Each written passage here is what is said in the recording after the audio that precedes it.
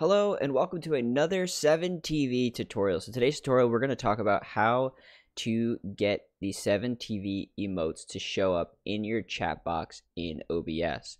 So rather than pulling my entire OBS page over like this and making it really confusing to see, I've, what I've done is I've pulled my chat box from my other monitor over right here. So this is my OBS chat box that I pulled out of OBS just to make it a bit more clear to, and easier to see.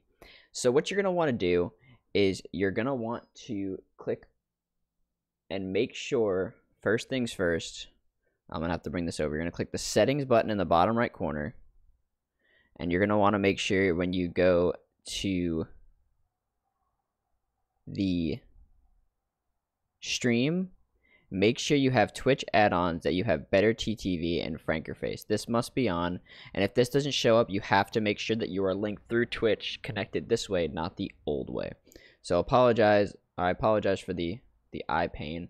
I'm gonna go ahead and pull that out of the way. So now you have that extension in here. You can see your better TTV emotes, but you're not seeing the 7TV. So what you're going to want to do is you're going to want to go ahead and click the Frankerface logo. You're going to open, actually, I'm sorry, you're going to click the settings chat setting right here. You're going to switch to non-mod settings. You are then going to go to Frankerface's control center.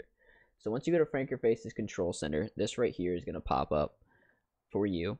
And you're going to scroll down to add-ons. Once you're at add-ons, you're going to be able to find 7TV. And you're going to want to enable 7TV as an add-on. So once you enable the 7TV add-on into your Frankerfaces, so once you go back to this chat box and you click the Frankerfaces chats, if you are in the My Emotes and scroll all the way down, you will see your global emotes from 7TV. If you are in channel emotes, you will see your channel emotes, your Frankerface channel emotes, and then the add-on which you just added, which would be your 7TV channel emotes. Now, the global emotes are kind of a pain to get to since you got to scroll all the way down. So this one that you really, really enjoy. So let's say if you like the the mm corn. So you're gonna hold Control and click it, and it's going to get that little star and then it's actually going to go to your favorites so it's a bit quicker and easier to click and you can favorite a bunch of different emotes.